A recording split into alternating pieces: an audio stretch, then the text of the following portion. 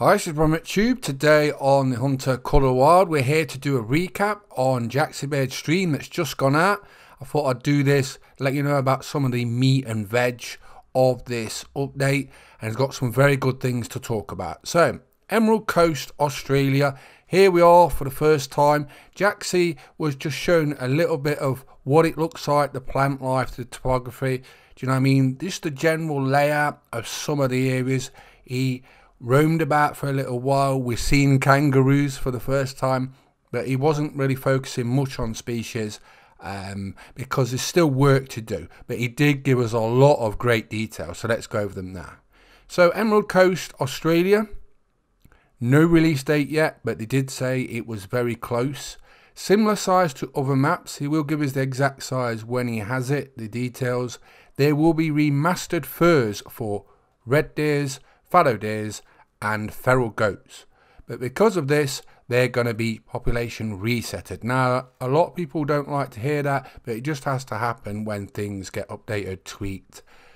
You don't need to tell me I'm like nearly 6,000 red deers on a grind, so I can't wait to see what they look like. Also, two species, the springbok and the Euro and Plains bison, will be getting true racks. So they will be getting population resets as well. Obviously, that has to happen because getting true racks. Alligators too. The reason for alligators is they've had some behavior changes. So you'll see them and they're going to be more aggressive now, like saltwater crocs. So a lot more fun hunting.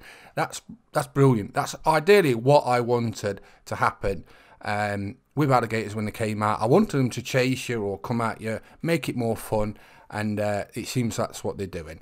Also, bobcats are having their population reset for drinking need zone time. So the total animals that's getting population resets with this update, red deer, fallow deer, feral goats, springbok, Euro Plains bisons, alligators and bobcats. So that's the entire list of what's getting population resets. We also getting a new gameplay feature and it's customization of tents and ground blinds. Now we'll take a look at that in a minute, but uh, I was so over the moon to see this. A lot more customization is coming to the Hunter Call of Wild, and I can't wait for more to come. But uh, let's have a look at it, shall we? This is the map for Emerald Coast, Australia. Jax was explaining that he can only go to these sort of two parts. He don't want to show too much yet because there's a lot of work still going on but this is the actual map of Emerald Coast and what it looks like. You can see there's like a coastal area on the right, and he was walking around some sort of like a deserty farmland sort of area, and he did show off one of the outposts right at the start. But there seem to be like kangaroos around here. We spotted some feral goats. It'll be interesting to see what the other areas look like. Here's this aerial view from when he got an outpost. But it does look really nice and it looks like they put an extra bit of effort into this map. And Jaxie did say they're trying to make this an absolute banger. So I hope it is.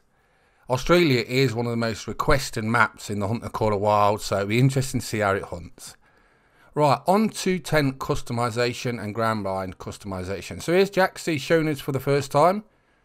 Didn't expect this, but now we've got customization in Call of Wild. What would you like customizing? Drop it in the comments. Your top, top, top one choice, we'll say.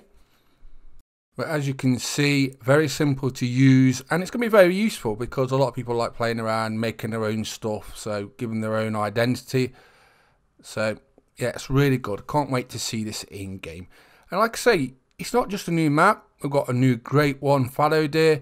We've got new customizations. We're going through the details as we talk, but there's pages and pages Jaxie is saying that he hadn't even got yet of changes to Call of Wild. So there's so much in this update. It's a really big one. And hopefully it's not too long. He did say soon. Uh, he did say it's not up to certification yet. So that normally takes a few weeks. So it depends how long that goes and then on to that. So maybe in a month or, or less. We shouldn't be too long. Jaxie also confirmed that decoys are coming out for magpie geese in this update, so that's how you're going to be hunting them. 223 is getting a buff. That is a massive one. When the 223 first come out, a lot of people complained that it was very weak and I actually tested this quite a lot myself. I was going out shooting whitetail at like over 400 meters I did manage to get some at over 400 meters, but it was really hard. Um, you have to be very precise with it. So it's getting a buff now, so it will be stronger, and that's a highly requested tweak. So a lot of people will be very happy with that. Also, we've got the Layton Lakes cosmetic pack in this update. Well, I'll take a look at that in a second.